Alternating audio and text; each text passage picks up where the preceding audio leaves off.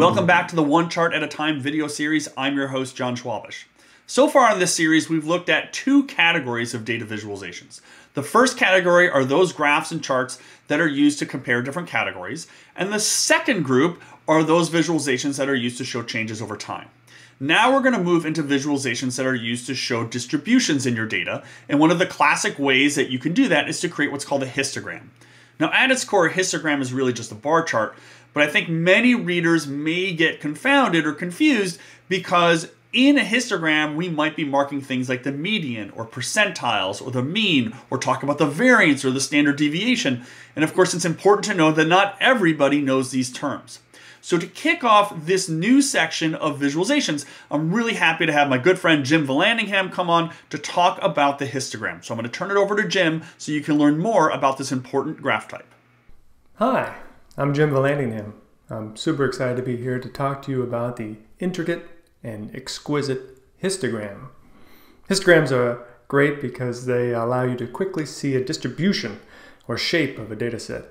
They look similar to bar charts, but while bar charts are used to display information around categorical data, histograms can be used to show continuous data.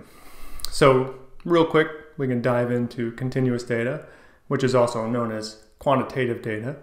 And it's data measured in numbers rather than labels or categories as in categorical data.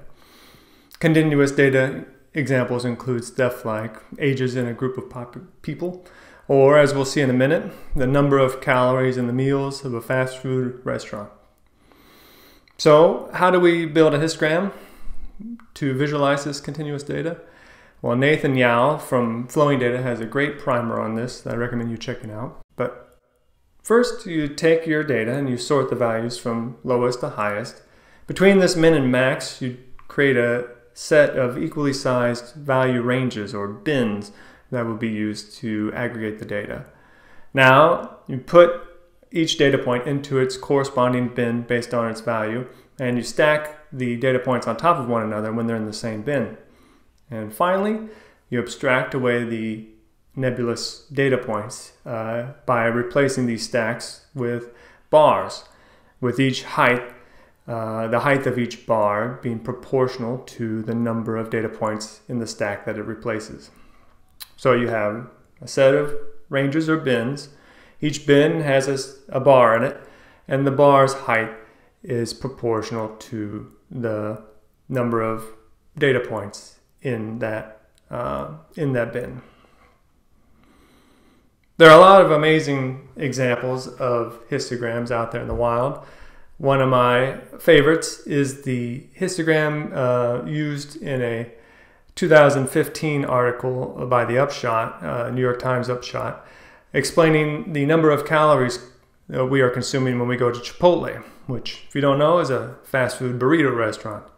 Um, this histogram shows up shows up up front and center in the article, and like so many graphics, uh, the annotations really make it shine.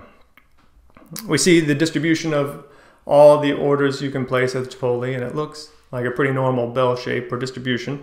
And then you start to read the captions and the annotations and realize that more than a half of the offerings uh, that Chipotle provides are more than a thousand calories with a good chunk of them being over 2,000 calories, the suggested daily limit for most people.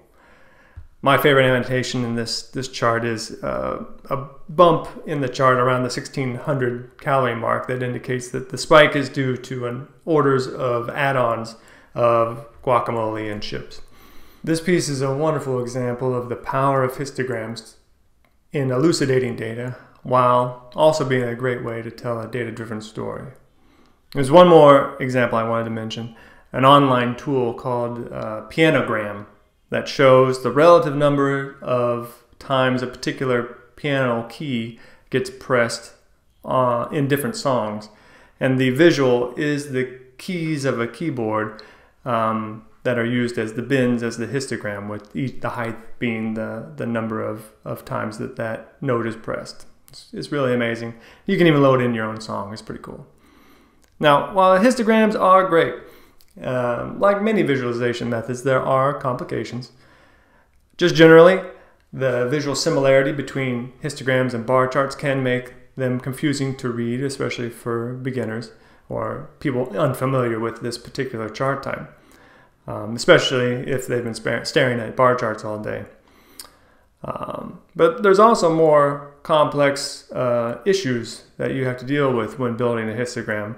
And most of these issues or decisions that you have to make are based around the bins. Amelia McNamara has an amazing interactive exploration of these choices she'll use for illustration. Uh, central quandary with the chart type is how many bins you should use and thus how big or how wide each bin should be. While there are some formulas for picking good and starting points, the decision is up to you as the visualization creator. If your bins are too wide, all your points get chunked into just two or three bars and you lose any re resolution. If your bins are too narrow, the histograms start to get noisy, and spikes or patterns you think you might see might just be artifacts of those narrow bins. Another potential, potential issue is around where the bins start, and thus where the cutoffs are for each bin. You can imagine shifting the bins forward and backwards, and these cutoffs between the bins determine which data points are dropped into which bins. As you shift, uh, different, different patterns might emerge or jump out based on these cutoff changes. So just when using histograms, it's important to experiment a bit.